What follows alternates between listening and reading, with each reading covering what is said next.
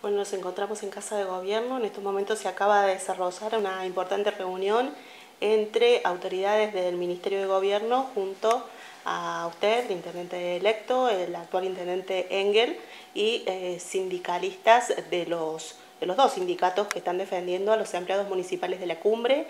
¿Cuál es la situación y, y de qué manera se desarrolló la reunión? Bueno, este, lo más importante, y paso a sintetizarlo, es que el Ministerio, el Ministro de Gobierno este, ofreció pagar el saldo que falta del mes de eh, agosto, que según informó el intendente era alrededor de 450 mil pesos, lo iba a ver de cómo lo podía sacar, ¿no es cierto?, como un aporte provincial, lo iba a mandar entre miércoles y jueves de esta semana, y en lo que hace a los sueldos del mes de septiembre y lo sucesivo, porque esta situación aclarémoslo, es crónica en el municipio. El municipio ha, hecho, ha tomado determinadas decisiones como para que en realidad, eh, en forma crónica, no se puedan pagar más los sueldos de los empleados municipales por un montón de cosas. Este, entonces, eh, para salvar la emergencia, se le ha pedido al, al intendente, y bueno, que lo que en realidad debió haber hecho hace mucho tiempo, que era lo que le había aconsejado el Ministerio y lo que le veníamos pidiendo nosotros también, es que en primer lugar decrete la emergencia económica y en segundo lugar eh, envía al Consejo Deliberante eh, una ordenanza, ¿no es cierto?, eh, pidiendo un anticipo de coparticipación lo suficientemente importante como para cubrir el desfasaje de todos estos meses de acá hasta fin de año. Esto implica doble lectura, además va a llevar un tiempo.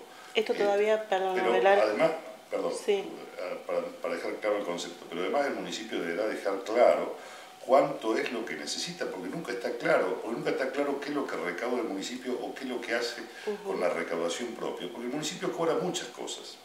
Acá el intendente acaba de manifestar que, por ejemplo, ellos tienen que dar servicio de agua, pero el servicio de agua se cobra.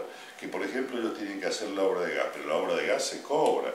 Este, ¿Qué pasa, ¿no es cierto?, con lo que se cobra de tasa de comercio, qué pasa con lo que se cobra este, en, concepto de inmobiliario, y qué pasa con todos los conceptos que le manda la provincia. La provincia le manda coparticipación, FOFINDES, tasa vial, eh, fondo de soja, le manda el fondo para reparación de escuela, y no sé si me estoy olvidando de alguno, seguramente me estoy olvidando de alguno, este, bueno, pero toda esa plata, ¿dónde va?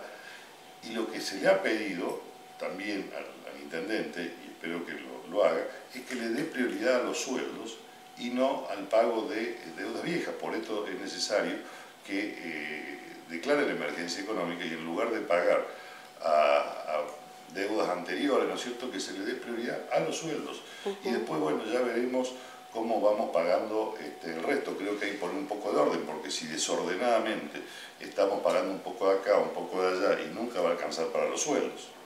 Ovelar hasta el momento Engel no ha presentado, este, no, ha no ha hecho un decreto de urgencia, de emergencia en la, Municipalidad de la Cumbre y no, ha presentado nada en el Consejo Deliberante como para pedir anticipos y fondos a la provincia de, Córdoba. No, no ha presentado por eso se le pidió que lo presente para que el Consejo lo trate, ¿no es cierto? Y bueno, yo voy a hablar con los concejales para que también nos den una mano, este, más allá de esta enemistad que existe hoy entre el Consejo, porque todos los pedidos de informe hace un año y medio el intendente no los ha cumplido, entonces claro, el Consejo poca voluntad tiene de ayudarlo, pero bueno, le pediremos en esta emergencia, ¿no es cierto?, que por favor, que estoy seguro que lo van a hacer, este, se lo van a aprobar, pero lo tiene que presentar.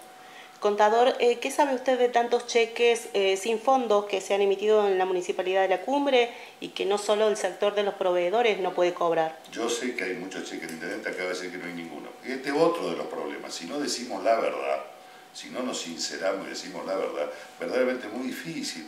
Si el intendente no transparenta su recaudación propia y no la pone a disposición de los empleados para pagar sueldos, y está priorizando otras cuestiones y verdaderamente es muy complicado, muy difícil. Y él dice, ¿no es cierto que no? Y nos miente, y nos miente, y nos sigue mintiendo, yo creo que esto es lamentable. Se lo dije acá en la reunión, que lo primero que tiene que hacer es sincerarse y decir la verdad.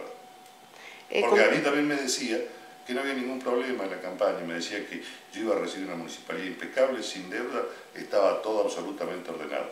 Y ya ves cuál es la realidad. Contador, sin lugar a dudas, es necesaria una auditoría eh, lo antes posible, ¿no? Bueno, tengo entendido que el Consejo Deliberante se puso en contacto con la Universidad Nacional de Córdoba, con la Facultad de Ciencia Económica y ordenó una, auditoría.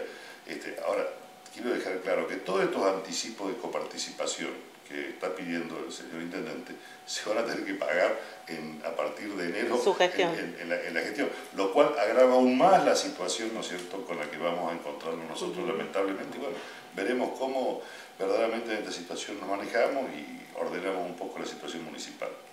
En esta oportunidad, en esta reunión que se acaba de desarrollar ahora, lo que ustedes van a pedir entonces, lo que el Consejo Deliberante va a pedir es el anticipo de eh, coparticipación al gobierno de la provincia. El, intendente debe, pedirle al Consejo, Deliberante que autorice un pedido de adelanto de coparticipación para salvar esta situación este, del mes de septiembre en adelante. El mes de agosto la provincia se comprometió a enviarle fondos, no sé bajo qué concepto, no quedó muy claro, pero no por adelanto de coparticipación para que pueda sanear agosto. Pero de septiembre en adelante, como esta situación se ha transformado en crónica, donde el municipio tiene un déficit crónico de un millón de pesos, más o menos calcularon por mes, bueno, va a haber que ver de dónde sacar esos fondos y la única manera es que pida un adelanto de coparticipación que se descuente en el tiempo a partir del 2016 este, y bueno, y por lo menos tengamos eh, que transitar este periodo de forma tranquila. Pero insisto, que lo que le ingresa al municipio por recaudación propia y por otros conceptos lo destinen para sueldo y no lo destinen para otra cosa.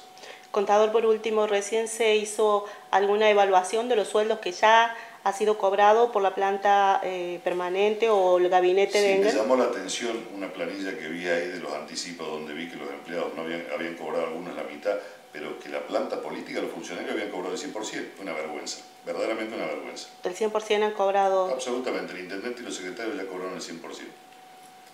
Bueno, esperemos que esto se solucione entonces. Eso espero, por Dios. Contador, gracias por su palabra. No, gracias.